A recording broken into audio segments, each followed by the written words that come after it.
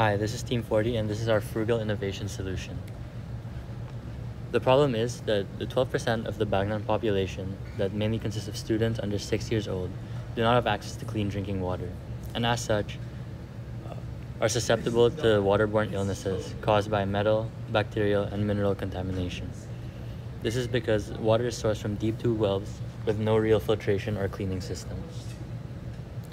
When creating our solution, we wanted to follow these core competencies.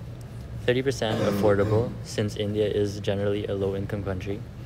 27.5% human centric, since there's a low average level of education. Thus, the solution should be designed for everyday use. 27.5% adaptable, as it should be easy to implement in India's existing infrastructure. And 15% efficient, as it should work in a fairly quick manner. So based on these values, uh, this is a table of how we rated each of our three ideas, and this is how we finally landed on the UV filtration tank as our uh, solution.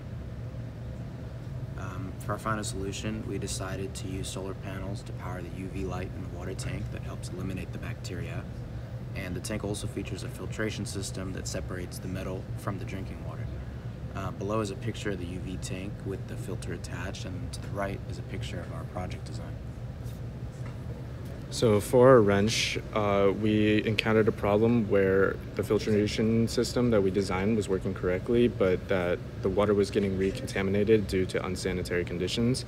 And for our solution, we came up with two ideas. Uh, one was education, where we would have government-sponsored programs uh, promoting good sanitary practices with our device, and then also uh, promotion on the device itself, where we could have a sticker on the side or like uh, right before they are able to actually access the water, they have to they should be able to read it and remember to like wash their hands and this could take in the form of like pictures or slogans and that's how we could encourage uh, more sanitary use Thank you.